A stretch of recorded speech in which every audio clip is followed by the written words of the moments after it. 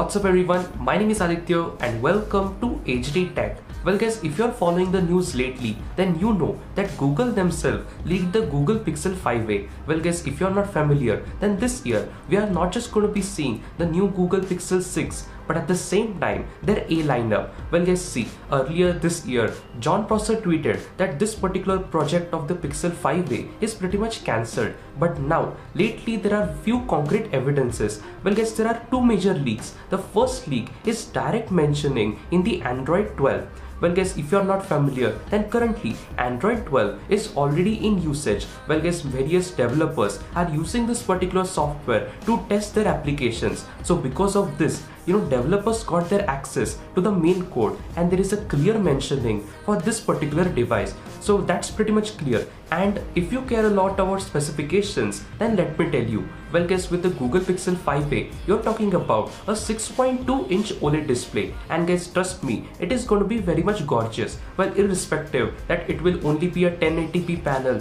and it will only have the 60 Hz refresh rate. But other than that in terms of the color to contrast ratio it is going to be quite good. Well other than that you're talking about a dual camera setup the main camera is going to be of 16 megapixels and the second camera is going to be of 12.2 megapixels. You're talking about the snapdragon 765g processor 6 gigabytes of ram 128 gigabytes of storage and a 18 watt fast charger included in the box. Okay, so as you just saw that all of the specifications are pretty much normal, so there is nothing something bleeding edge. But the main highlight of all of the Pixel devices is the overall software experience. So, it is pretty much clear that with this phone, you're getting the Android 12 well, with the help of this video, I'm here to tell you two news. So first was this, but the second one is way more interesting. Well guys, literally like couple of weeks ago, Google started their own blog and on that particular blog, they were going to be uploading all of the camera samples with all of the Pixel devices. But somehow or the other, they uploaded a picture which was directly taken on the Google Pixel 5. So there, there is not only one picture, there are two pictures. Well, as you can see on the display, these are both of the images. Well, right off the bat, you will not see a clear difference because we all know that uh, with every single Google Pixel phone, you are getting amazing photo quality.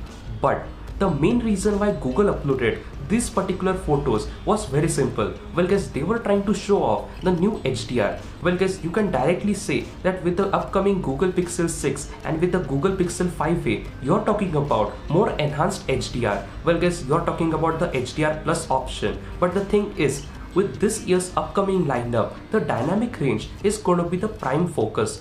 Well, with the help of this video, I just wanted to say that there is not only one source but two sources telling about the Google Pixel 5a. Well guys, with both of them, you are talking about Google's official Android 12 and Google's official blog post. So it is pretty much confirmed that Google also makes these kind of mistakes at the end, it is pretty much confirmed that the Google Pixel 5a is indeed coming. Well guys, it might not come in August, it will come later this year and that too in selected regions. So first they will try out with United States and if it, it is successful then they will spread it in the entire world but with the help of this video these are the major updates well guys thanks a lot for watching this quick video and guys please we all are familiar with the current situation in India. So please try your level best to take precautions, take care of yourself, take care of your family, and at the end, try to help as many people as possible. If you need any help, then feel free to DM me on Instagram. Well guys, thanks a lot for watching this video.